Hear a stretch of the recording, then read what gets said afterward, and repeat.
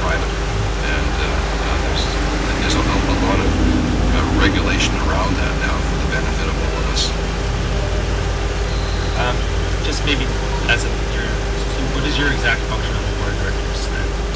Uh, I'm the chair. The chair of the board no. of directors. Yeah. Maybe you could just give us an example of some of the things that the board does, uh, what it's like to serve on the board.